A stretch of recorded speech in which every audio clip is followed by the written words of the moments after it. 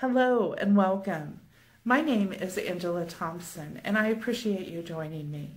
Today I'd like to share a project with you on behalf of tinypandora.com. Let's begin.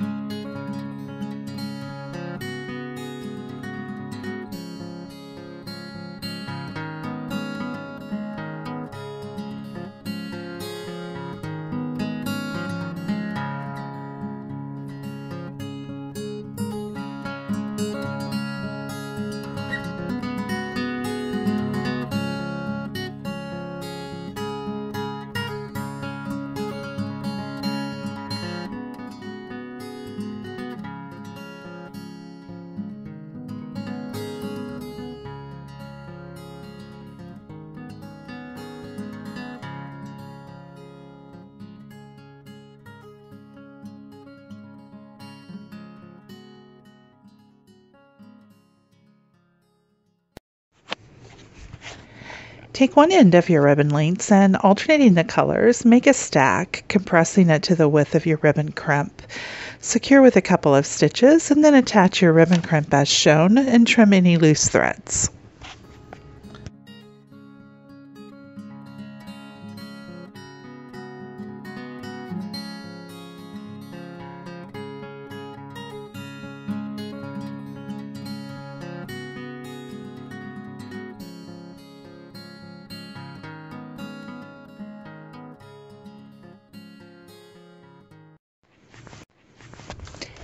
Lay your beads out alongside your silk as you'd like them and ensure that your orientation is correct. Slide the beads onto the length of silk, starting with those closest to the attached crimp. Use a twisting motion, a pokey tool, needle nose pliers, or some other tool to gently pull the silk through the bead holes. Continue process until all of your beads are placed. Then apply your second ribbon crimp to the other end and pinch closed.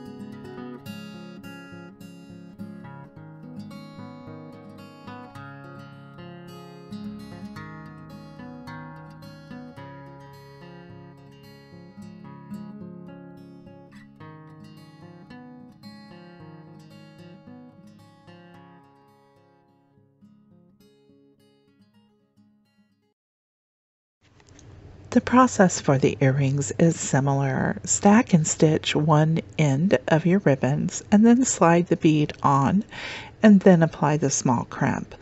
Pulling from the bottom, snug the crimp down into the bead.